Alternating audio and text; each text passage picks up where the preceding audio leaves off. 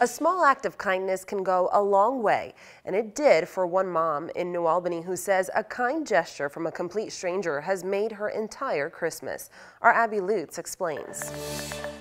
Here on the corner of Crestwood and Westview in New Albany is where Cheryl Agee's daughter waits for the bus every day. They'd sit here on the ground close to this corner here because the bus will pull up and pick them up here. But now the kids here don't have to because a few days ago, as I was coming home from work, I look over, I'm like, Emma, what's that? And she goes, a reaction. She literally started getting teary eyed. To this.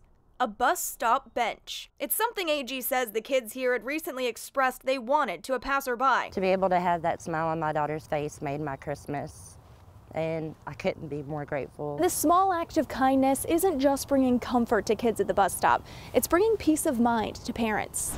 Knowing as cars pass by, their kids will be more visible. To have this bus stop, it eased my mind and gave me a sense of relief to where I can breathe as a parent and not have to worry about it. And it was literally the best gift I could get. And to the ones who made this gesture, thank you to them because it's little things in life that really become the big things. So in this holiday season, this thankful mom is challenging others. Spread joy, do something small, smile, goes a long way, open a door. In New Albany, do something good.